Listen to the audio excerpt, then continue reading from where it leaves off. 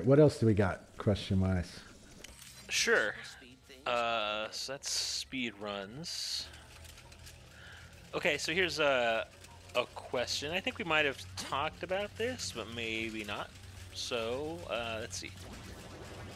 Mike mentioned somewhere in the playthrough that back in the day, everyone did a little bit of everything. Like a designer would be would be necessary, also a bit of a programmer in situations like that. Do you feel like the personality and feelings of games is now impacted negatively or positively by how specialized and compartmentalized everything sounds like it is now? So we were probably exceptions, uh, like you and you and me doing multiple, Uh-huh. like doing multiple duties. Like that's not there's not a lot of people did that, right?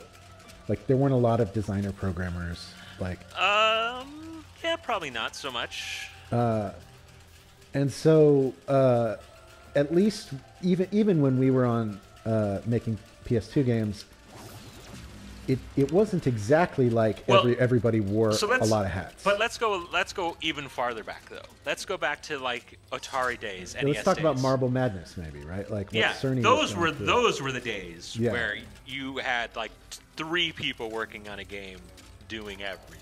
Yeah, You know, even Insomniac's early days, like Disruptor and all those kind of stuff, they were very. Um, those were definitely very very sparse teams. That they that they were doing a little bit of everything.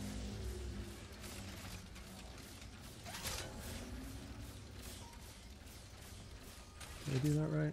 Uh, I, don't, I think that goes into the saw. How do I put it in the saw? Do I have to be closer? Maybe.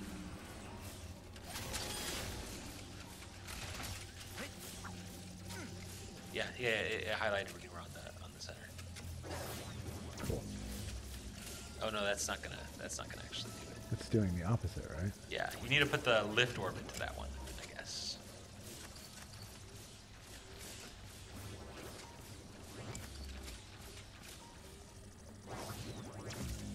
Yeah. All right. So then I got to get him across the gap some other way. Oh no, there's a there's a lift orb in there that you haven't freed up yet. Oh, okay. All right.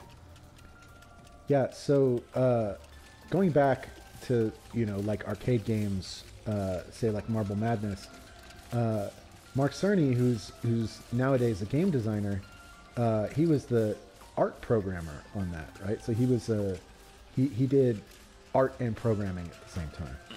Uh,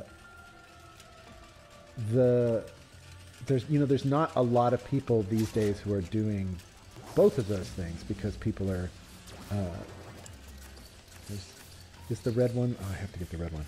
Okay. Um, but that hasn't been the case for a long time. Like even when we started being a generalist was kind of an exception rather than the rule. Uh, and the specialization we see nowadays has a lot to do with the fact that we need people to pay very specific attention to very specific parts of the game more than like uh, more than the like it it being less ideal for someone to be multitask does that make sense like uh, because we have to pay attention to so many things now oh wow wait So how did I- speed orb before. So put a speed orb right there. Okay. Oh, there we go. Okay.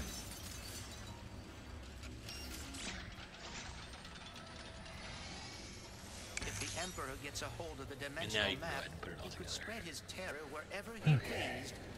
He could take over everything. Uh, okay. So now I've got two lift spheres, so I can put that one there.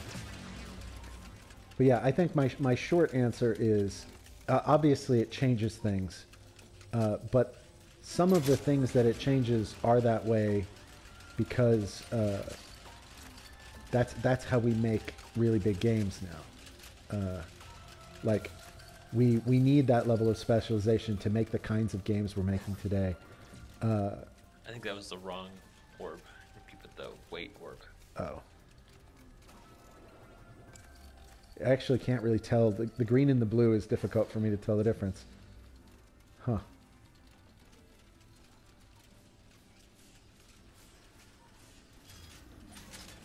Okay, so they're all dying because I haven't put the lift orb up there yet. Okay. Oh, shit. No, stop it. Come here.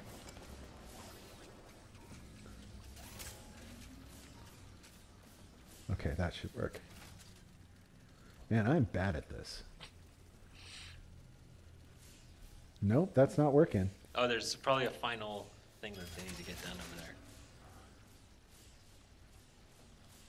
Uh, you probably need to walk over there and see what's actually going on.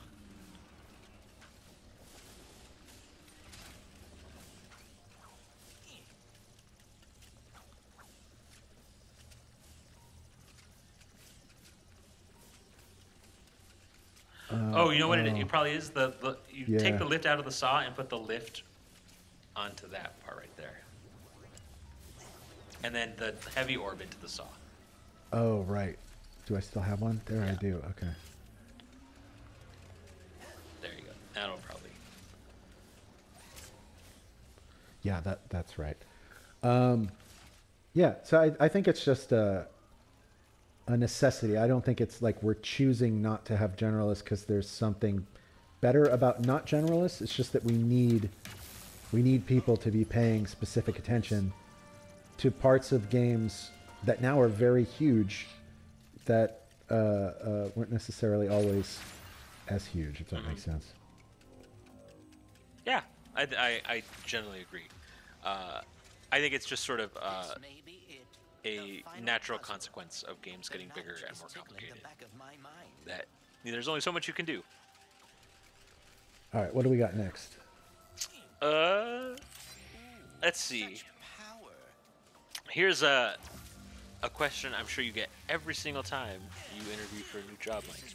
Oh, yeah? would tell himself Which is, can I ask you what your favorite games are personally? And are there any series of games that have remained popular game to game in a similar or different way than Ratchet and Clank? Games that I like. Is So that the question? I, I think it's uh, so it's two questions. One, what is your favorite games? I think that's just one question. cool. And another game, uh, the other question is, do you have uh, examples of another game series that has sort of managed to stand the test of time year over year, uh, like Ratchet and Clank? Uh, so you know, Yeah. Uh, okay, let me just put these spheres together. Uh, okay, so we can talk. let- Let's, let's start first about what kind of games we like. sure. Uh, so my favorite, my favorite games are Zelda games. I Uh, I, I don't know why, but I love them. I recently just went back and replayed all of the. Uh, all right, so take this away. I recently went back and played uh, Zelda One, Zelda Two, and Link to the Past, and they are just as good as I remember. Uh, okay, that is not the right way to do that. So that that's for me. Those are the like the a number one uh, uh, franchise for me is Zelda. Second up, probably uh, uh, like open world games like Skyrim, uh, that sort of thing. Love those. Um, I think those are my main my main uh, genres and, and games. What about you? Uh, so my my go-to answer has always been uh, Harvest Moon. Is my uh, Oh, is my yeah. favorite game uh, ever. It's just that uh, it tickles my brain in a very particular, uh, very particular way, which uh, I will always uh, love. Uh, so that's that's always been one of my that's always my go-to sort of favorite game. Yeah. Oh. Harvest Moon's so good. Yeah. Uh, and you know, it's a game that's that one's still going. That that game is still going uh, going strong after all these years. Uh, so yeah, good on them. And then was the other question just like uh, so? There, what are our favorite games? And then, Was- what do we can we think of any series that have managed to like really endure and still sort of be going after sort of all this time? A lot, right? Like uh, you know Mario. Uh, like there's uh, there's a, So, a lot of games. Oh, go ahead. It's funny. Well, the one thing I will say about Mario, and this is not a knock on Ratchet or anything like that, but and this I and this is just I think unique to Mario more than anything else. I feel like Mario as a series is very interesting because I feel like every new Mario game that comes out just completely changes the game in one way or another. They do a lot of different. And as much as I love sort of the Ratchet stuff and having worked on the like, it doesn't have that sort of level of impact of every new Ratchet game is like a event like every new Mario game is, right? Because every new Mario game has some feature, some hook, something about it that feels so new and uh, and groundbreaking which I think is one of the things that's sort of very special about Mario games. And one of the things I think Nintendo's managed to done well to do well after all this time is that their game can still feel that way. Sorry, I'm just trying to. What do I got? I got a yellow one. You still got a bunch one, of orbs that you haven't collected green yet. One. Really? Yeah. So I haven't gotten up there. I haven't gotten up there. But I don't know how to get up there.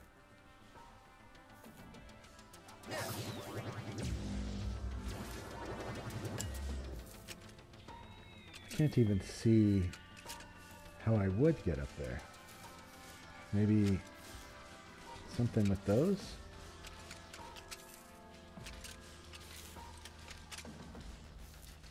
Any ideas?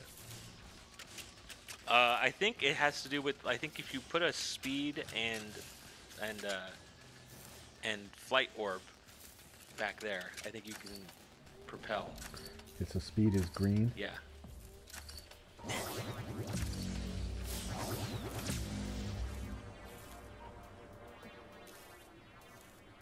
So now you have to get back over there, and then you can get up there.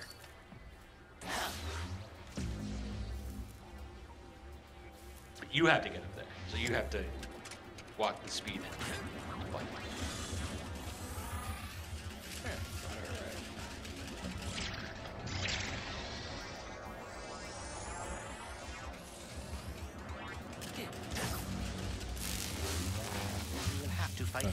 again, there's one no matter what. But he will not catch us by surprise this time. Or maybe not.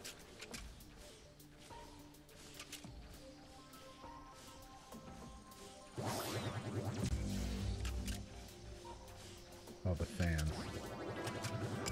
Oh, the fans are what's pushing him, so I can do that maybe.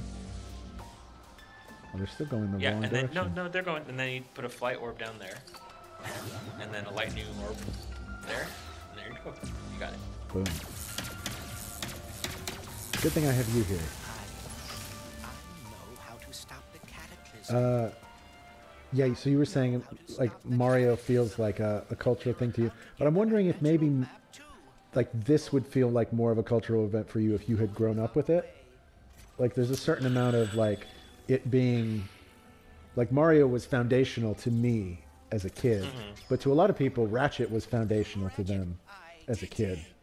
So we might not have the same perspective on Yeah, it. I mean, we certainly don't, and it's impossible to have that sort of that that same perspective, um, for sure. Uh, but no, I, I feel like I like I said, I do feel like any new, new Mario game that comes out really just changes the game in its in its own way. Um, that I don't think I don't think any other game series really uh, does that the way that they do. Well, that's true. Mario's a tennis star, a soccer champion, a platformer. That's right. Like uh, he he has been very uh, active in a lot of different ways. He's, he races carts. He's a doctor apparently. Yeah. Like uh, he teaches typing. Oh, we got a big emotional moment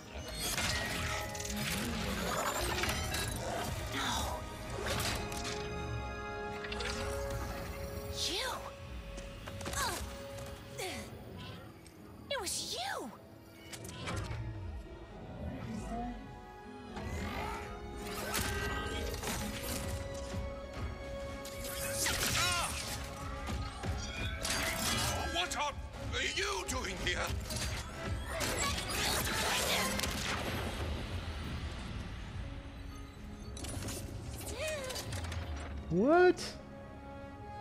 He was useful.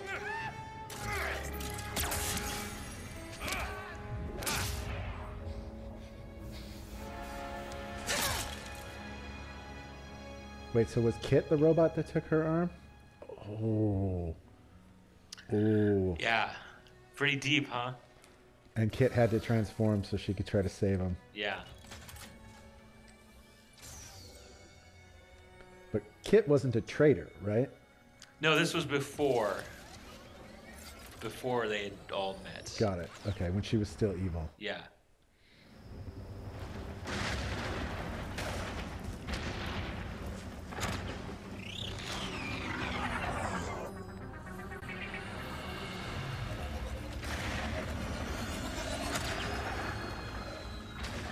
So Ratchet and Clank are captive. Kit's off who knows where. And it's up to Rivet now? It's up to Rivet. Ooh. All right. Well, that's going to be a hell of a next episode. Yeah.